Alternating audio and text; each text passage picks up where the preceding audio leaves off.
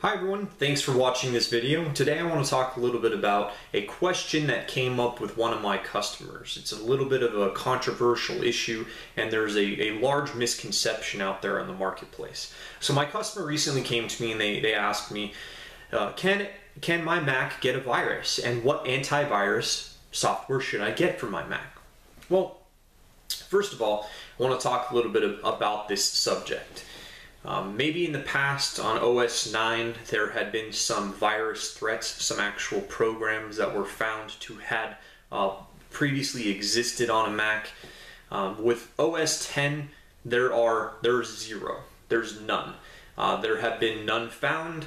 No one has ever found a Mac, and there are a virus on a Mac, and there are currently none that are even in existence. So that's why the first reason your Mac can't get a virus. I'm not saying that it never can. I'm not saying that they won't in the future. I'm simply saying that there aren't any known viruses out there, so there are no, no known threats. Therefore, you really don't need to get an antivirus software. We'll, we'll, we'll talk a little bit uh, about why here. First and foremost, Apple, and I don't think anybody would dispute this, Apple builds some of the best well-built machines out there in the marketplace. Uh, they design their operating system to work proprietary to their machines.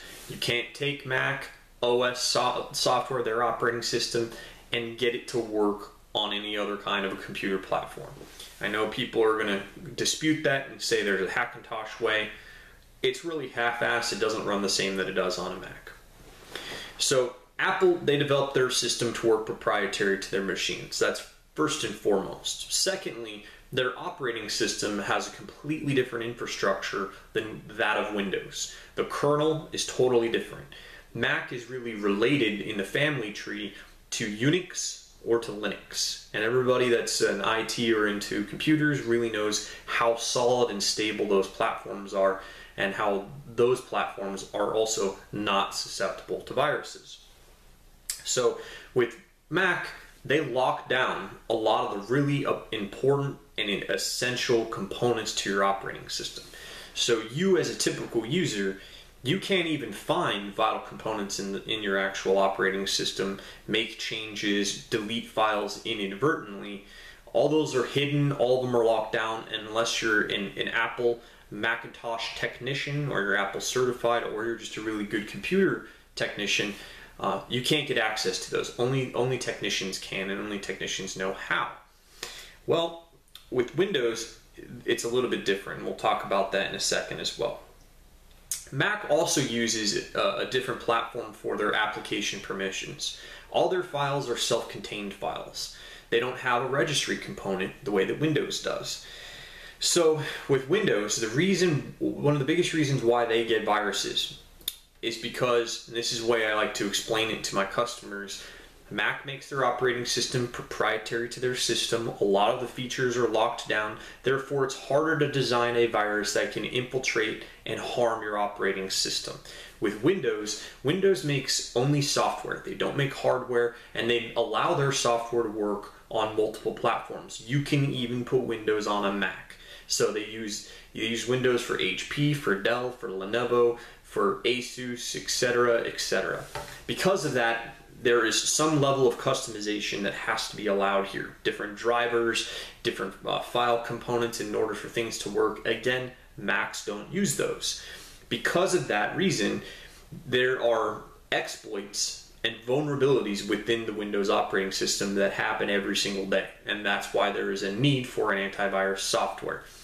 Apple is very good at creating these patches and these fixes, and they do it all the time. So there have been exploits to the operating system not necessarily a virus, but then Apple fixes them right away. So even if a virus were to come out and were to affect the Mac and it were, were to be known to the world, Apple would fix a patch in order to correct that issue. In order to correct that issue, and it's a lot harder on Windows.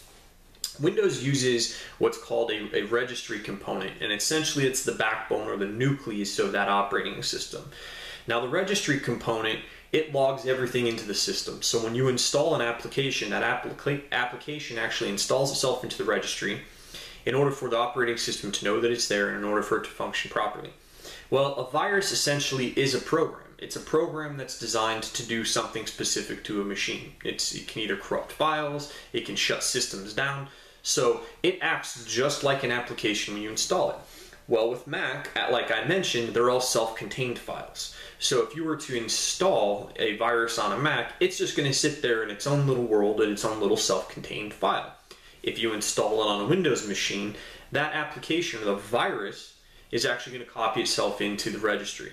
And that's where the, the harm begins on a PC component. If you were to go into your Windows system and inadvertently access your registry and make changes to that registry, you are making changes to your operating system in real time.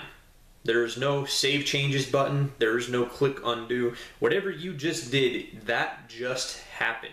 So if you think about it, once a virus, which is programmed to, to, get into the registry and corrupt files on your operating system, as soon as it gets into your registry, it immediately is causing harm to your system.